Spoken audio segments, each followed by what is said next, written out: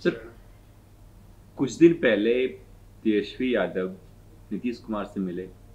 उसके बाद ये रूमर्स रहा कि नीतीश कुमार फिर से पाला बदल सकते हैं। अब नीतीश कुमार को जेपी नड्डा के सामने मन से ये सफ़ाई देना पड़ा कि हम दो बार आरजेडी के साथ जाकर गलती किए। हम 1995 से उन्नीस से हम एनडीए के हिस्सा हैं और आगे भी रहेंगे। क्यों देना पड़ रहा है बार बार सफ़ाई? देखिए, एक बात नीतीश कुमार जी को जो जानते हैं, वो समझते हैं। राष्ट्रीय जनता दल के साथ सरकार चलाना आसान कार्य नहीं था। इस अनुभव ने नीतीश कुमार जी को प्रेरित किया कि वो भविष्य में कभी भी आरजेडी के साथ राजनीतिक गठजोड़ बनाने की बात नहीं सोचें। और विभिन्न अवसरों पर केवल जेपी नड्डा जी के साथ नहीं प्रधानमंत्री जी की सभाओं में भी उन्होंने इस बात को बार बार दोहराया है कि उन्नीस सौ पंचानबे के बाद जनता दल यूनाइटेड एनडीए का हिस्सा रही है और हम भविष्य में भी लगातार एनडीए के साथ रहेंगे। एनडीए का साथ बिहार के लिए बेहद आवश्यक है, इसलिए कि गठबंधन में जो समन्वय होना चाहिए, वो भारतीय जनता पार्टी के साथ सर्वश्रेष्ठ स्तर पर है, अन्य घटक दलों के साथ भी। कोई असहज होने की स्थिति नहीं होती है। और विकास कार्यों को लेकर जिस निर्धारित एजेंडा पर नीतीश कुमार जी काम करते हैं, उसमें उन्हें अवरोध बिल्कुल किसी भी तरीके का पसंद नहीं आता है। और इसीलिए निर्बाध गति से जनता से किए वायदों को अमली जामा पहनाने का वो निरंतरता के साथ काम कर रहे हैं।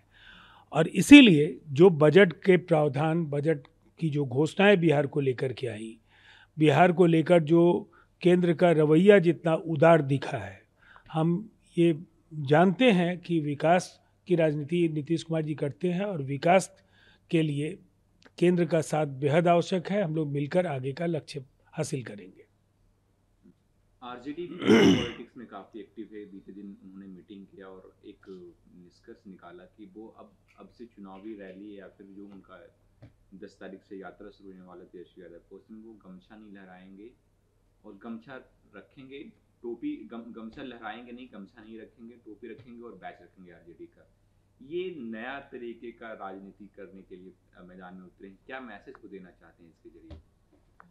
देखिए गमछे की जगह बैच लगा लीजिए टोपी लगा लीजिए लेकिन एक राजनीतिक दल का जो चाल चरित्र और चेहरा है जो उससे जुड़ी खौफनाक यादें हैं जो उनके नेताओं का स्वच्छंद आचरण है जिस तरह से जनता के लिए वो कठिनाइयाँ पैदा करते रहे हैं इस तरह के हथकंडों से वो पार्टी के चेहरे को नहीं बदल पाएँगे। और इसीलिए कोशिश उनकी ओर से जो भी हो रही हो दरअसल वो ध्यान बांटने की एक चेष्टा भी है। उनकी पार्टी के नेताओं का असंतोष बढ़ रहा है। लगातार बड़ी संख्या में पार्टी के कार्यकर्ता और नेता दूसरे दलों में जा रहे हैं। तो उनके अंदर फिर से विश्वास का भाव सं, संचारित करने के लिए ऐसी बातें समय समय पर वो बोलते हैं। लेकिन राजद को बदल पाना या स्वयं को बदल पाना तेजस्वी जी के लिए इतना आसान नहीं होगा सर, हमने देखा जरंग पुनिया हो, ये पिछले साल से प्रोटेस्ट कर रहे थे जंतर मंतर पे। कांग्रेस हो और तमाम जो विपक्षी पार्टियाँ, बीजेपी को छोड़ करके वो साथ में आई। अब हरियाणा चुनाव से ठीक पहले वो कांग्रेस का दामन थामे हैं। ब्रिजभूषण शरण सिंह हो डब्ल्यू एफ़ आई के प्रेसिडेंट हो, अब सब ये सवाल उठा रहे हैं कि जो हमारे ऊपर जो आरोप लगे हैं, वो कांग्रेस इसके पीछे है और कांग्रेस को इससे नुकसान हो। आप इस पूरे मसले को कैसे देख रहे हैं? देखिए, विनेश फोगाट और बजरंग पुनिया देश के एक प्रतिष्ठित खिलाड़ी हैं और पूरे देश को उन पर अभिमान रहा है।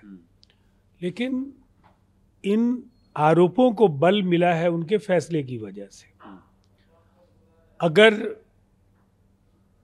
ओलंपिक के पदक दौड़ में पिछड़ने के तुरंत बाद उन्होंने कांग्रेस का दामन नहीं थामा होता तो शायद सियासत के इन हथकंडों का शिकार वो नहीं होती। लेकिन अब कांग्रेस की जो हरियाणा के पूरे उनके शासन के काल में जो भूमि सौदों को लेकर के तमाम तरह के जो कांग्रेस शासन के जो स्वेच्छाचारिता के अनेक जो फैसले हैं, कांग्रेस के अंदर जो परिवारवाद है कांग्रेस के अंदर टिकट के वितरण में जिस तरह की अनियमितताएँ बढ़ती गई है, उन तमाम सवालों के साथ इनके प्रवेश को भी जोड़कर देखा जाएगा। और जब वो चुनाव लड़ रही हैं तो निसंदेह उन्हें कई तरह के आरोपों का सामना करना पड़ेगा। बिल्कुल, कल जब वो ज्वाइन कर रहे था कि जब मैं मुसीबत में थी तो बीजेपी को छोड़कर सारी पार्टियाँ हमारे साथ थी। तो कांग्रेस हरियाणा में अच्छी है और कांग्रेस के लोग ज़्यादा मुखर थे, खासकर हुड्डा फैमिली। ये बात उन्होंने कहा बाकायदा। इसलिए मैं कांग्रेस ज्वाइन कर रही हूँ और कांग्रेस शुरू से राष्ट्रवादी पार्टी है, ये स्वतंत्रता दिलाने में कहीं ना कहीं ये मुखर रही है इस पार्टी। इसलिए मेरा जो विचारधारा है वो कांग्रेस की इसलिए मैं ज्वाइन किया हूँ? हिंदुस्तान को आज़ादी दिलाने वाली कांग्रेस और आज की कांग्रेस की तुलना नहीं की जा सकती है। आज की कांग्रेस राहुल गांधी के नेतृत्व में जो कांग्रेस है, वो आज बड़े राजनेताओं के पुत्रों, पुत्रियों की एक जमात भर बच गई है।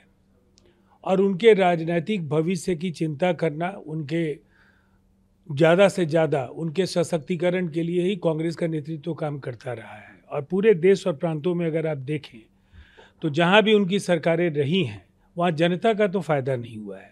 अब जहाँ तक विनेश फोगाट को कांग्रेस प्रवेश के समय ये बातें कहनी है तो ये जनता भी समझती है कि आपको अपने फैसले को सही साबित करने के लिए कुछ तर्क देने होते हैं। लेकिन प्रधानमंत्री नरेंद्र मोदी जी ने जब पदक के दौड़ में वज़न की वजह से जब वो पिछड़ी और जो उन्होंने कहा कि चैंपियन ऑफ़ चैंपियंस हैं विनेश फोगाट हरियाणा के मुख्यमंत्री ने काफ़ी मर्मस्पर्शी बयान दिया। हम्म। उसके बाद भारतीय जनता पार्टी पर इस तरह के आरोपों का कोई औचित्य नहीं है। जो बीजेपी आरोप लगा रही है कांग्रेस पे या फिर विनेश फोगाट पे कांग्रेस भी सामने से जवाब दे रही है कि शुरू से जब से हम जब से अंग्रेज़ों का शासन था, अंग्रेज़ों ने हमारे देशवासियों को सताया, तब से हम देशवासियों के साथ खड़े हैं। और आज जब बीते साल जब विनेश फोगाट हो या फिर बजरंग पुनिया हो, साक्षी मलिक हो, इन खिलाड़ियों को सताया गया बीजेपी के द्वारा, तब हम इनके साथ थे। तो हमारे ऊपर आरोप लगे, कोई दिक्कत नहीं आरोप तो लगते ही रहते देखिए, कांग्रेस जो भी दलीलें दे रही हो लेकिन हिंदुस्तान की आज़ादी का जो ये पूरा संग्राम है, निसंदेह कांग्रेस ने पहली कतार में खड़े होकर देश की आज़ादी दिलाने का काम किया है।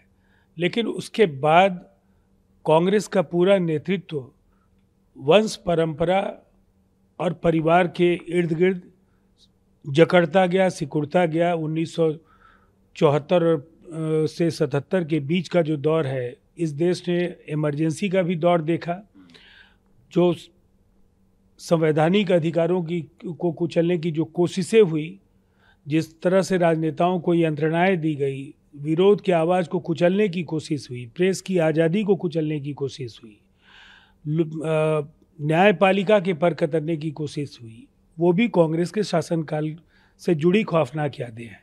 इसलिए कांग्रेस निरंतर गिरावट की ओर है। इसीलिए इस तरह के तर्कों से वो हरियाणा का चुनाव नहीं जीत पाएँगे। Thank you sir